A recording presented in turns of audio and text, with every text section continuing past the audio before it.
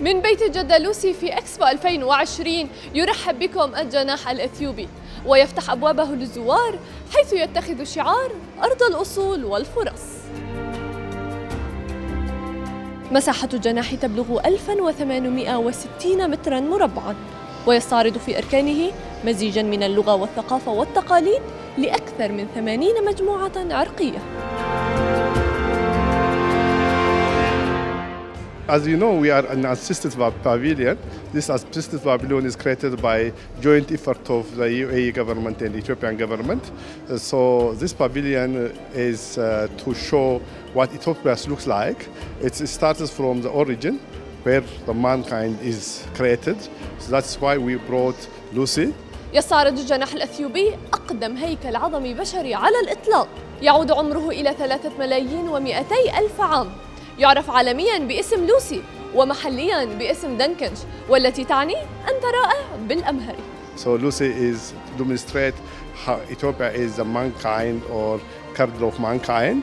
And then they have a lot of materials which are ancient materials, uh, both uh, Christian and Muslim materials, and very old materials to be used, even all the stones where the construction is started.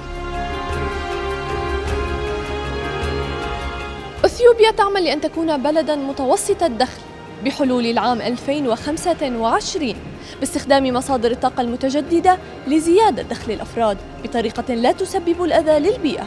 ومن هنا اتخذ جناح من منطقة الاستدامة موقعا له.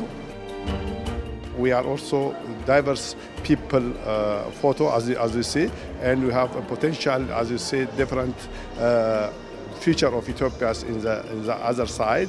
And in above side, you, you, you see our alphabet, uh, Amharic alphabet. We have our own alphabet, Amharic alphabet, and also our, our calendar in the, in the, in the ground.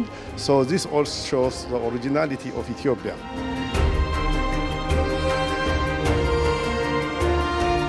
تأمل أثيوبيا أن تستقي الدروس من التجارب التنموية الناجحة وأن تظهر بالمقابل ضخامة قدراتها الكامنة هزار محبوح للعين الإخبارية إكسبو 2020 دبي.